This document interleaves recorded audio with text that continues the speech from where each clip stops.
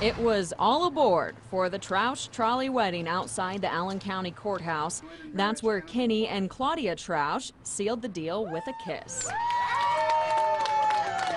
365 days after their first date, the two decided their one year anniversary would be one to cherish. I said something simple and fun, and this could be the best ever.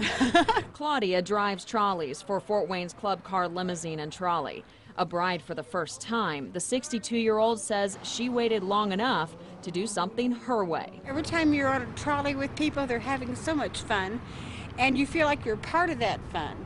And I just thought that's the kind of a wedding I want. Mr. and Mrs. say this one unforgettable day is just the beginning. We have so much to look forward to. We've never been on a cruise or train rides or anything, and we're just, it's time to have fun. With the happy couple, I love him. Yeah, I love her too. Drew Blair, News Channel 15.